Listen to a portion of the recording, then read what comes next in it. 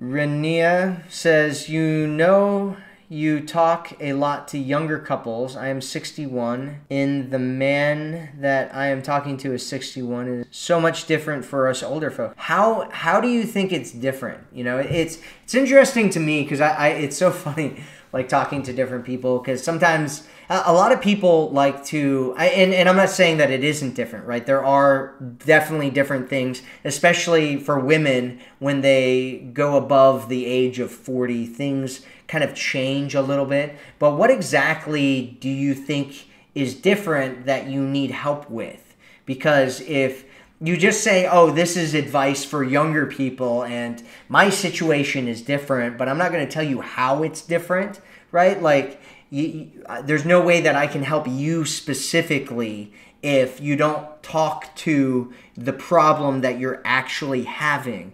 Because just saying, oh, my situation is different doesn't tell me anything. And, you know, it, it's it's one of those things where I talk about, for the most part, most of what I'm talking about is human psychology, stuff that works with people all over the world of all kinds of different ages. And thing, you know, things are different once you get to a certain age because men's testosterone goes down, women's testosterone goes up.